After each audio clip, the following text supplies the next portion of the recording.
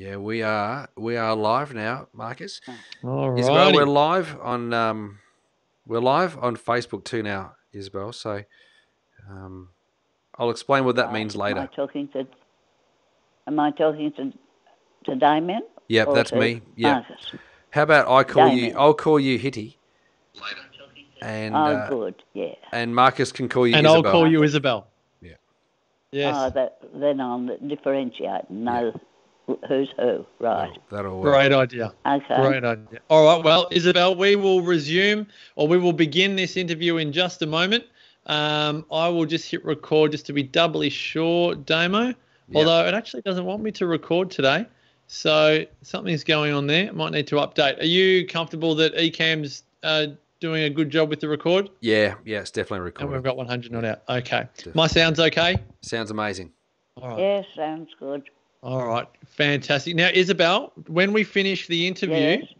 uh, don't hang up the phone because we'd like to have a little chat to you and say thank you again once we've um, once we finished our interview with you. Okay.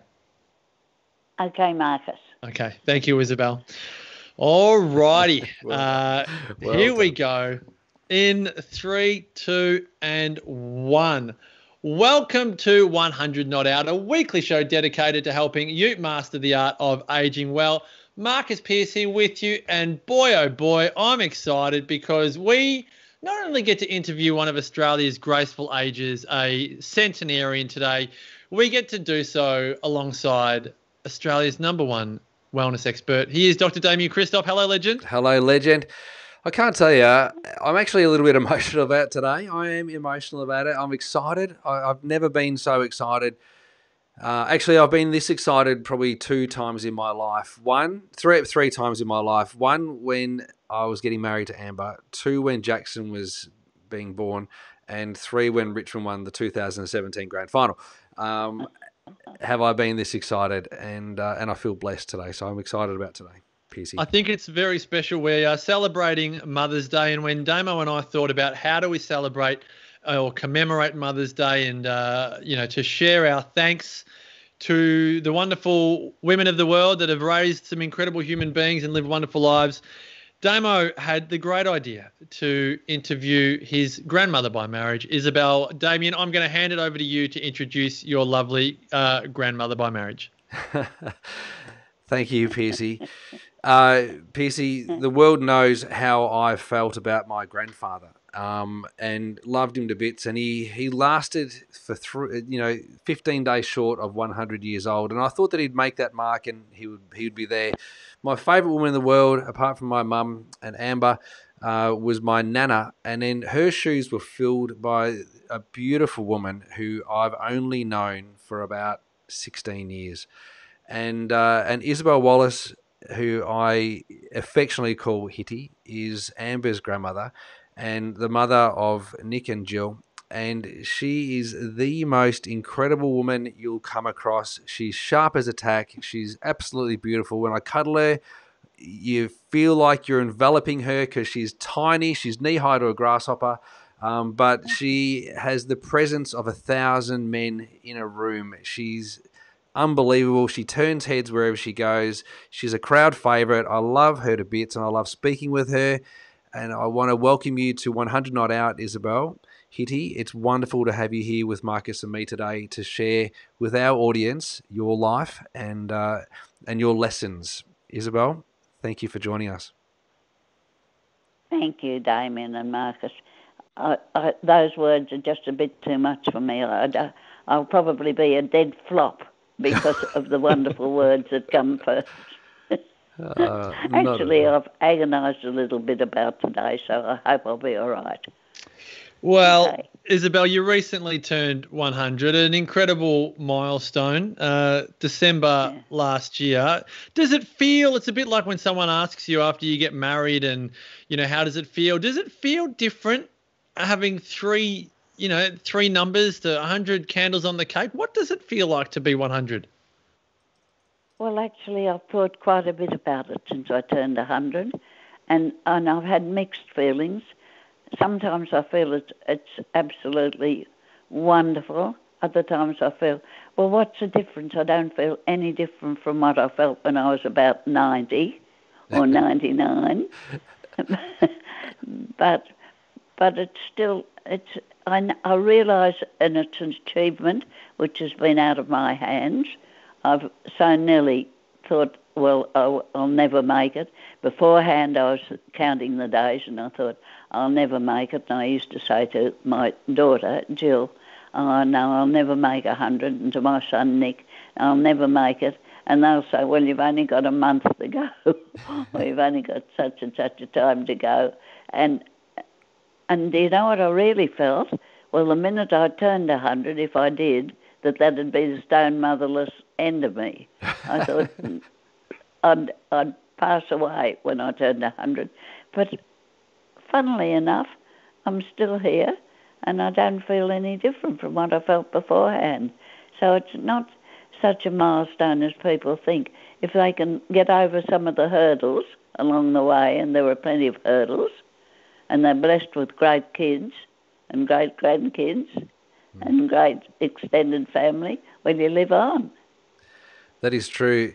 So, we actually um, we feared at one point that we were going to lose you uh, because you were very sick, and that's yeah. the reason why you moved from Coffs Harbour. Because uh, uh, people won't know this, but um, you you were living in Coffs Harbour um, by yourself in Coffs Harbour as the president yeah. of, the, of the Bridge Club, and you uh, you fell ill. You had food poisoning. You hadn't eaten for a few mm. days. You fainted, um, and you know you for for as you know I don't know you probably weigh on a good day about forty five kilograms. I think you dropped down to about thirty something kilograms uh, when you were crook.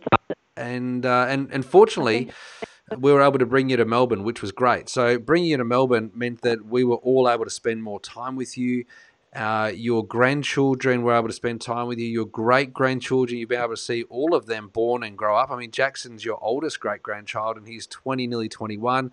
And then we go down to uh, Charlie, Charlie and Tim's like youngest baby, and and how old she? Might be only a few months old now, and and so you've seen this great span of great grandchildren come into your life, which I think has given you more life. Would you say that you feel probably more alive now than what you did when you first moved to Melbourne?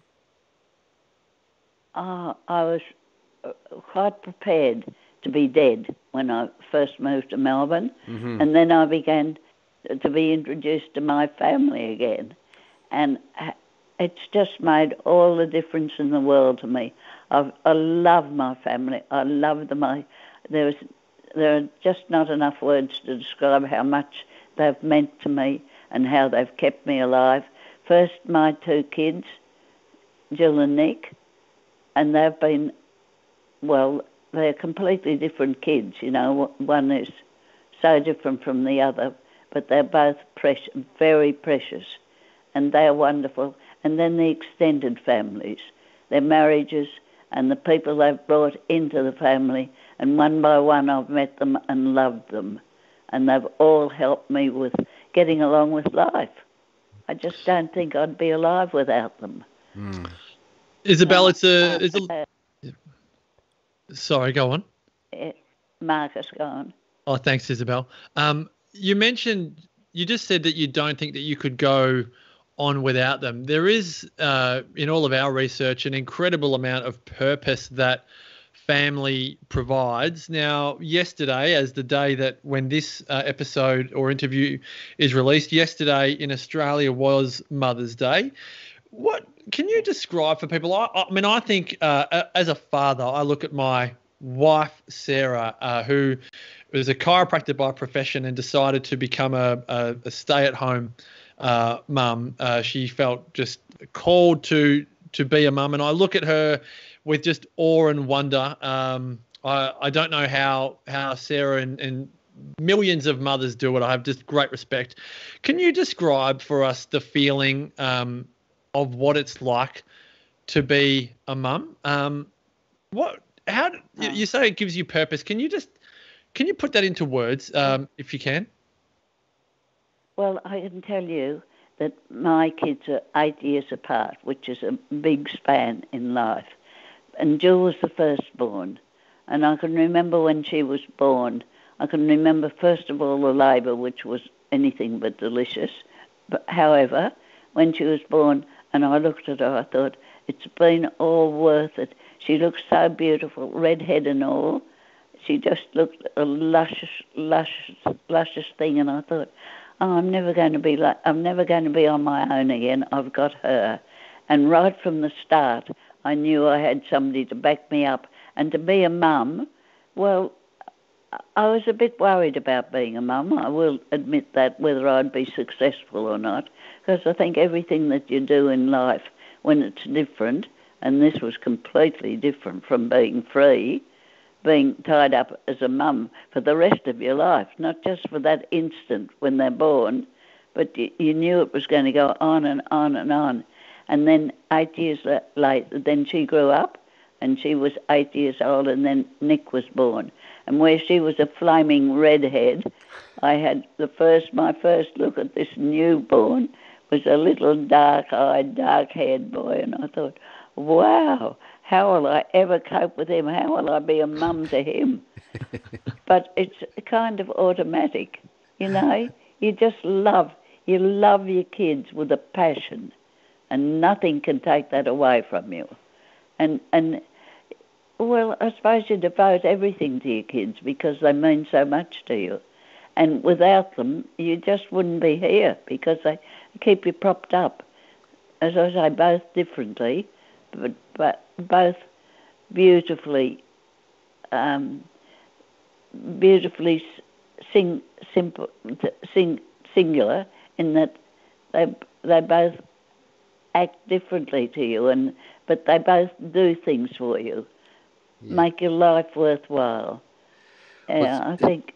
Yeah. Uh, Hitty, it's uh, it's wonderful to hear you speak like that about both Nick and Jill, and uh, and I know them both very well, and I and I can hear what you're saying there, and, and I love that. And one, my question was going to be, what gets you out of bed each day, and and do you feel like you've got purpose? But when I hear you talk about Nick and Jill, I can I can hear that there's purpose there, but you don't get to see Nick and Jill every day. You don't get to see your grandchildren every day, and you don't get to see your great grandchildren every day. So, what what is it that gets you out of bed every single day now? What what do you feel like your purpose is these days, Hitty? Because well, uh, we mainly I mean to get up for for, for breakfast. That's the main purpose at six thirty in the morning.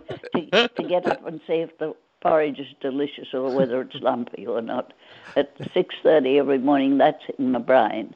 But the purpose to get out of bed is, is just not to stagnate in the bed. Yes. You know, uh, uh, you could easily, when you get old, when you get to be a 100, you could easily give up and think, oh, well, you know, I don't need to get up today. I'm very tired. I'll sleep in.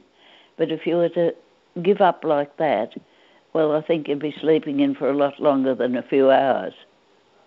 Yeah, yeah, absolutely, absolutely. In fact, you may not um, ever get up if you just kept on. If you go up the ghost, um, Hitty, do, do you think that uh, given that Melbourne's having a bumper year this year, um, and you is it six and zero or seven, seven and zero? Seven. seven and zero. Six zero, I think. Well, it depends on what happens this weekend, I suppose, and when this goes out. So it, will be interesting. But uh, Hitty, do you think that's giving you purpose? Do you want to see them win a grand final before you, you pull up stumps? Well, you know, I have seen them win a grand final. Well, another one, that. another one. You know, you know what I'm. Yeah, another one. Would be nice. There's not many would, people left on the planet who have actually seen Melbourne win a grand final, but, but you have. No, it, it would it would be nice, but it, it's funny how you're unconvinced. You know, I think they're going so well. Next week it, it won't be so good. You, mm. You're always a doubting Thomas. You can't ever accept the fact that that they appear to be so good. I think but I think. A, uh, yeah, sorry, go on, Isabel. No, it's uh, okay. Yeah, I'm finished. I was just going to uh, say before you go on there, Piercy, because one of Isabel's great skills, Hitty's great skills, is the footy tipping. And I actually don't recall a year that year that haven't come first or second in the year of footy tipping. And, and I suspect this year, Hitty, you're also leading the footy tipping. Would that be true? That's true, yeah. Yeah, yeah, there I, you go. I'm now sitting, I think, after this very bad weekend. It was very hard, and I didn't do well. I think I'm now second. Plenty of time for you to make a comeback. Now, Damien did mention, Isabel, that you are one of the few remaining human beings that were alive when Melbourne won a premiership back in 1964. But if I can take you back perhaps another 20 years before then, as the Second World War was coming to a close, many of us uh, living in Australia have now, these days, I was born in 1981, we haven't experienced times like we have in the last 12 or 18 months. But my fascination with people that have lived through wars um, would normally tell me that what we've lived through in the last 12 or 18 months is nothing compared to what it is to live through war times. Can you take us back to those times when you were in your mid 20s and Australia was a very different country back then and and and what those experiences do for you in times like these COVID times? I can. I can take you back to that time because uh, at that stage, when war broke out, Second World War broke out, I was just leaving Teachers College. And I had my first school to go to, and you wouldn't believe it, but I chose Mallacoota. I think I chose it on its name because it appealed to me, but I couldn't believe when I was actually going to Mallacoota to take up the post that I, I thought to myself, I will never get there because you didn't just fly or you didn't just get in a train or a bus. You had to do things like go to Bairnsdale by train, then get out of the train and go to Cann River and stay overnight in Cann River and and then go on the next day by bus to Mallacoota. And then to find that I was going to literally just a little, uh, it was kind of a very, very, very small school, and now it's a booming high school. But this was a very, very tiny school, one teacher school, and I think I had about 14 pupils and two boys who used to row across from Gabo Island each day if the weather was good. And so I was in a very small environment, and it was a fishing village then, now it's livened up, and it, you know how often Mallacoota is, is mentioned now. Yeah. People are really keen on the place. And I just fell in love with the kids there. They were beautiful, and they taught me, and I realised how dumb I was. They taught me compass points. They taught me about wildflowers and the names of wildflowers, and they taught me everything. But we did, you know, we it was a, beautiful experience that because, as I say, I loved the kids, and we built an air, air raid shelter out the back of our school, out out the back of the school, and the kids came along with their with their hoes and their picks and their shovels, and they made this very very deep slit in the earth, and even the little kids came along with their buckets and spades, and everybody worked hard to build this air raid shelter with the result that the first time it rained, the air raid shelter got full of water and became a, a, a definite danger point for the kids because quite easily any of the kids could have drowned. Then I had to get the air, there was an Air Force contingent there, so I had to get the Air Force in to empty the the, the ditch that they'd built, and and and it, it we had wonderful experiences there. It was it was like as if I'd lived there for a lifetime. And now when I hear Mallacoota being mentioned so much, well, think of the dreadful bushfires last year. Mm. But when I hear it, I think of myself there in love with the kids, in love with the place, in love with some of the airmen and the army. There was a, an army contingent there as well. So it, it was a great place for a young woman to to really grow up. That's where I grew up. But different life from what it is now. Yes, we were petrified about the war, and we had to be very careful of, of closing all squeaks of light and not allowing ourselves to be vulnerable to. It was the Japanese we were fighting then, and, and we had to be very careful because they sent aeroplanes over spying on us all the time. Mm. So we had to watch that. But now we've got different concerns we've got the COVID concern now, mm. which because I'm a hundred, I don't feel inside as much as I felt inside when the war was on. Because every day during wartime, every newspaper had the list of the killed in action or wounded in action. And you couldn't go a day without seeing somebody you knew in the newspaper.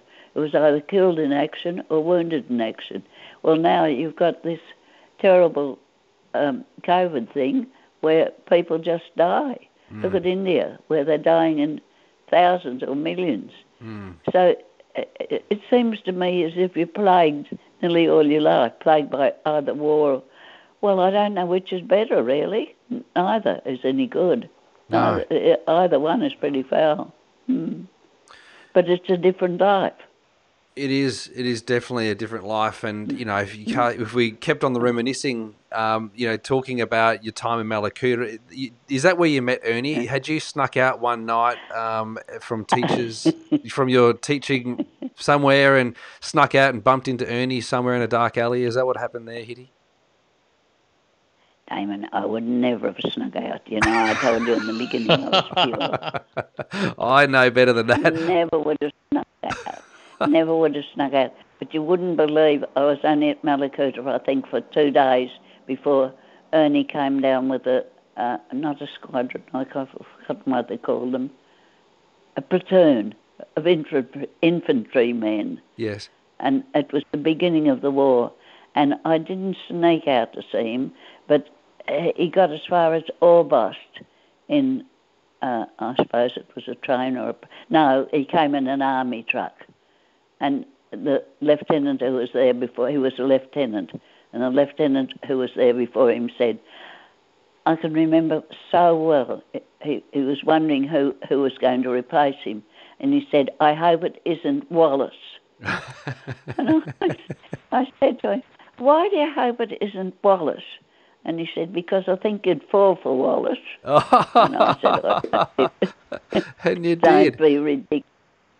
Well, I went, he said, "We'll go. I'll take you up to Orbost, which was we did things that you never you would be now jailed for doing, or you'd be locked up." Oh, tell and us what said, they were. We want to know. and he said, if you hide in the army truck or the army tender, whatever it was called, well, I'll be able to take you up to Orbost to meet whoever it is. so I had to get right down in the truck in front of the truck near the driver and hide whilst we got into Orbost. And then in came this army truck and he said, ah, oh, damn, Wallace. It's Wallace. And I thought, hooray, it's Wallace. Wallace, I can't wait to see this Wallace. And so this Wallace ca- then came up to our truck and introduced himself. Well, at, at, at, my driver knew him, my lieutenant knew him, but he came and, and made himself known to, and was introduced to me. And I thought, oh, what a hunk. He was really beautiful. He had his, had his army shorts on and he was brown all over and, and he was young and vibrant. And I thought, oh, boy, no wonder, no wonder this Theo had said to me, I think you'd fall for him. And I thought I've already fallen for him and I've only said two words for him.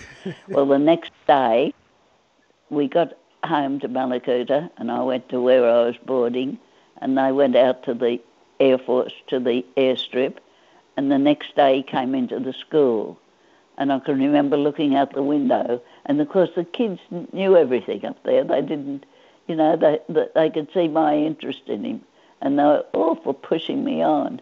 And I could, eh, I could see him coming up to the school, and I thought, beautiful. So went to the school door, and there he was, and he was also chatty and so friendly. So that, and I fell for him, of course, and and I don't think he, he was prepared to fall for anybody. I think he was just, you know, he was just going to be friendly. But gee whiz, once I got my clutches into him, he didn't get away. but, but we had a lot of interesting things another time when we were there, we decided we'd, a couple of the girls, there were only about oh, six girls in Mallacoota and all these men. And we decided, I boarded at the, at the pub then, and we decided we'd go out to the airstrip which was a sinful thing to do because uh, particularly we were girls and, and young girls and we weren't very high and they when we got there they thought we were Japs but we had to bribe some of my husband Ernie's men to lend us some of our, their uniforms. So we had these great uniforms which were a mile too big for us even though they were only little. And we staggered out. One of the girls could drive uh, her father's truck and we went off over the Betka River. There was a river dividing us with the airstrip, and because you weren't allowed to go anywhere near the airstrip because it was territory that was dangerous and, and only fit for the enemy. And we had to try and get over the bridge, and we had to bribe. We took because it was from the pub. We took beer and and cigarettes. We pretended we were smokers, we had these butts all over the floor. And so we bribed the men who were guarding the Betka River with bayonets, I might add, with bayonets. And we bribed them and said, look, we're only pretending. We're just going out to see the boys. And, and so we got through and they, they could have been court-martialed for letting us through, of course. And when we got there, there was a ter- terrific siren and the whole of the airstrip was was alerted that the, the foreigners were, had invaded, and so they came at us with bayonets t- to get us because they thought we were little Japs. and one of them, and one of them fell down the ditch and broke his leg, and that meant that my poor Ernie, who was in charge, had to admit to, I think they were heads were at Bairnsdale then, had to admit that that his men had let us through, and that's what caused it. And he was almost court-martialed. But see, we didn't. Even though it was tough times, we were still able to do wicked things. I love how much. Life. I love how much risk you took to fall in love, Isabel. I just love the story of your love story. And I would, you told Damien and I before we did the interview that um, your husband Ernie died. I think Damien was saying it was 1999, so a bit over 20 years ago. You were married for more than 50 years, and you said before we started the interview that you would love to be able to talk to him. That you said there was something very special about being able to talk to people that you really, really love. Can you can you share with us you know the role that love has played for you in your life, and particularly that intimate love um, of a soulmate, because. Uh, the reality is, Isabel, that more and more people uh, today in, in the Western world live alone and and decide not to partner up and and you know take the risk to fall in love, which is what you you definitely did. Can you share with us the payoff of um, of playing full out in order to fall in love and connect with someone like Ernie for over 50 years? Well, Marcus, it's not all beer and skittles. You do have your ups and downs. I think marriage, anybody who tells you marriage is easy, well, I always look at them and think, well, you know, you should have a psychoanalyzing you. Because I don't think marriage is easy. I think it's darned hard you have to work hard on it. And I think we did. We did. But uh, it, when you have your husband or husband has his wife, you don't realise what a precious commodity it is till after they've gone. And so often when I come to bed at night, I think, oh, I'd love to be able to tell Ernie this. I'd love, and then I think, just like to be able to talk to him. Mm. You know, it's lonely. It's a lonely life when you've had love and when you've had uh, when you've had kids together and you've got your kids to talk about. I think you want to tell them what the, the grandkids or what the kids have been doing. Mm. And and you know how proud they'd be. And and it's it's very hard to know you can't tell them. Mm. Because my grandkids have been stars too absolutely, and not have been are stars. And I would just love to be able to tell my husband things like that. But see, you can't do it anymore. Mm. It, life's tough when you're a hundred, Mm. and all your loved ones have gone. It's um, I think of my time in Coffs Harbour, and I think, well, probably there wouldn't be anybody left up there. it's I wouldn't possibly be able yeah. to play my bridge. Yeah. Mm. I uh, So- Amber and I Amber and I were walking through the um, through the national park the other day, and we were reflecting on um, when people pass away. You know, whether it be Tony, whether it be Ernie, whether it be you know Rock, my grandfather, or even my grandmother. yeah. Um, you know, what what are they thinking when they're up there? You know, are they having a discussion? Are they, you know, looking down at us, going, "Well, you know, you, you got to stick around. Hopefully, you did something good with your life." And um, and what are they thinking about when they're up there? So we were thinking about that just the other day, and um, you know, I, it, it just what you were just talking about there, Hitty, makes me wonder. Um, you know what what what are the conversations that they're having if they're having anything? I, I know that they'd probably want to be telling us and sharing wisdom with us as well i'm sure of it. Hitty what are your views on aging and um, and what are your views on older people? Obviously I, I don't i don't i don't think in australia we do it really well um, I think we're blessed that we've got a facility where you're able to stay and, and feel safe and secure. But what, what how do you feel about aging and, and older people these days? Uh, well, Damien, I don't. uh, Is it Damien or Marcus? Yeah, it was me, I don't Damien. know. Yeah, well, I- I don't know how. I don't know how normal age aged people feel. I only know that I've been very, very fortunate to have, and, and I would never have said th- this to you early because I always thought that old people, poor individuals, they had to go into a nursing home. Mm-hmm. Well, now my views on a nursing home have changed dramatically because this is a absolutely perfect nursing home in the fact that we've got wonderful staff here. The girls, the carers, the nurses, they were all so kind and wonderful. The management, they kept COVID out, out of this place. They locked us down. They, they did everything to keep it out and they kept it out. And to age and be uh, be lucky enough to have found somewhere to live. I can remember remember when I came down from Coffs Harbour and the kids said, "You can't live up here. In hospital. You- You're too sick, and you can't live on your own. You've got to come to Melbourne." And I can remember saying, "Well," and I'd made this into this was in my mind so often beforehand that I would never live with my kids because I thought they were young. They had lives to lead. They didn't need to be tied down with an old person in their house. So I said to them, I'll come to Melbourne then if you find me somewhere to live. Well, it was a kind of lottery, although they wouldn't say it was a lottery because it went round to a lot of places and they found this place and I've been blessed because it is beautiful. The management, absolutely 100% behind the management I am. They, not any of them could be better, I don't think. I haven't had any nastiness. I haven't had anybody ha- have any gripe with me. It, it's been it's been wonderful, and I've been very lucky.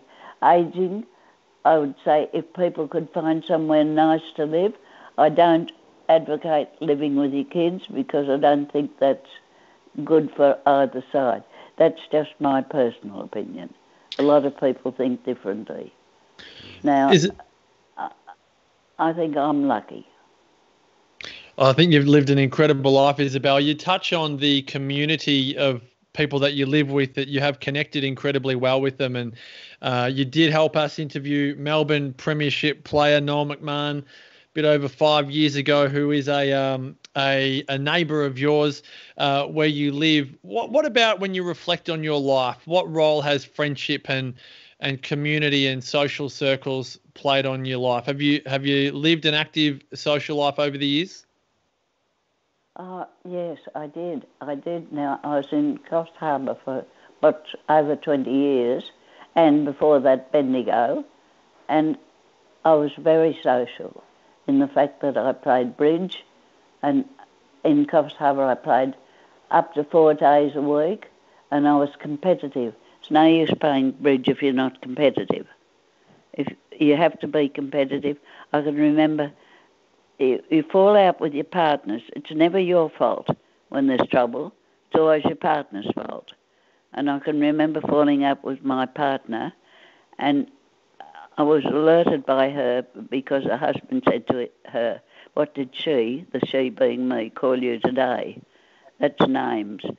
And so I remember being so savage with her for something she did that I said, You're a dickhead. You're a dickhead. With that, she threw the cards on the table, and it was a competition. You can't throw your cards on the table, but she did, and she said, And I'm never playing with you again. So she marched out, and we never played together again. But see,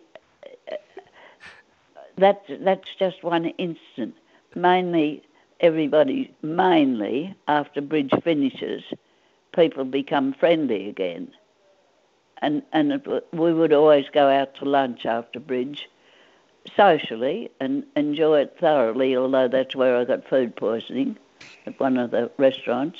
But that was the uh, partner of yours. She actually Yeah. put that food. Uh, she poisoned that food. Yeah, she did something to that dim sim, I Yeah, reckon. Mm. totally. she must have fancy fancy calling anybody a dickhead, especially a nice, especially a nice woman. And she was a nice woman and didn't deserve that, but she didn't. We never really spoke together again. But bridge, I, I, social, yeah, I had wonderful social time. Besides, oh, earlier on, of course, I played sport, but I only played bridge in Coffs Harbour. But always lunch, there was always lunch afterwards. Every birthday for everybody we knew, we'd go out on the town for birthdays. But you can do, and I always had a good social life, even early on when I was married to Ernie. And I can tell you one funny story when I think of my life and I think of the socialising. The, the one thing that was vitally important to me was to get an invitation to the mayoral ball. Everybody in town wanted an invitation to the mayoral ball, and of course I wasn't any different from anybody else.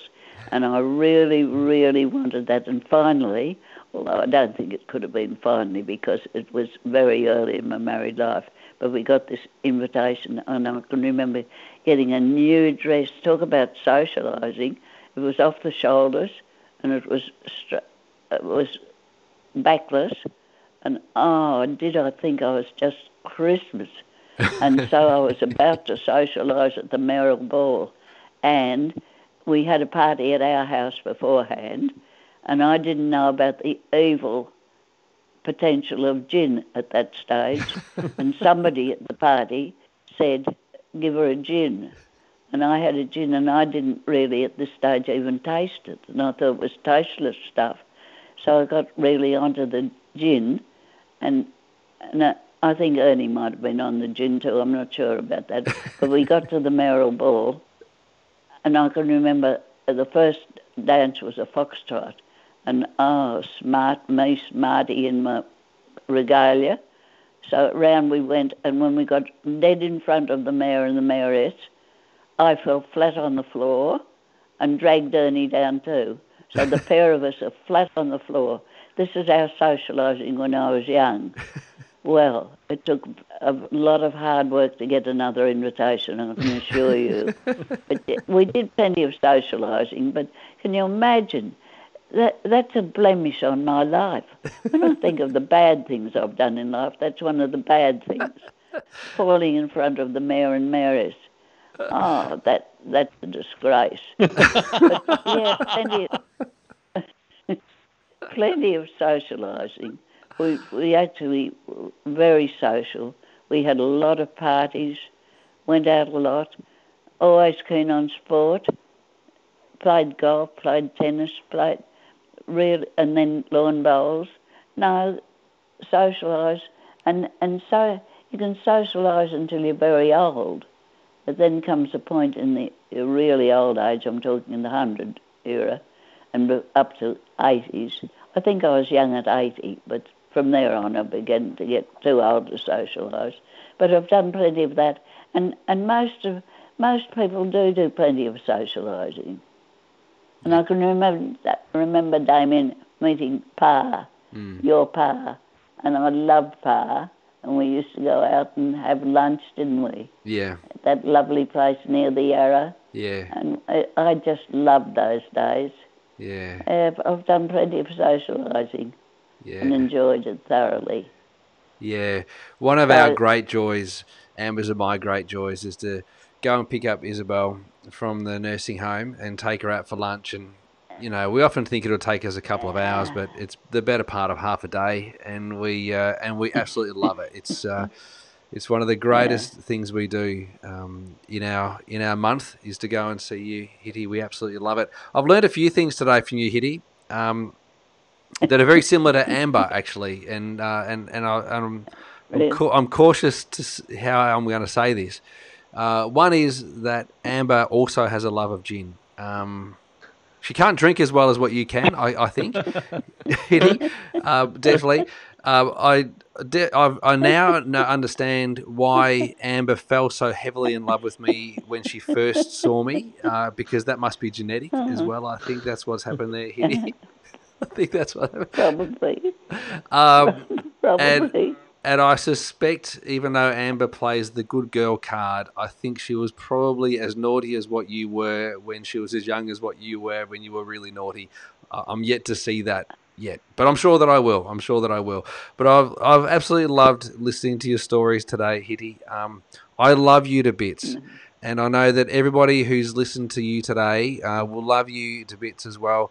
But I, I can tell you this, Hitty, you've made a mark on tens of thousands of people's lives, everybody that you've come into contact with throughout your whole lifetime, and everybody who's blessed enough to celebrate with you on a daily basis or a weekly basis or a monthly basis just to hang out with you. Um, you you've made a, a life lasting mark on their life, which is uh, of greatness. And I just want to thank you. And I'm, I'm grateful that you came into my life. So thank you, Hitty. Oh, you make tears come to my eyes, and thank you for taking the time and for listening to me. Hmm. It's my Oh, we could do it for hours, Isabel. It's been an absolute joy, and a lot of our listeners who have joined us on our Facebook Live are saying things like, "I just want to hug her. She sounds so cute." And Trudy Petter says, "Amber, I love her." Uh, so, as Damien says, you are bringing joy to a lot of people, and uh, we are so grateful for your contribution and for sharing your stories. And we love the wicked stories; they're the best ones. Um, Isabel Wallace at And there are 100 some.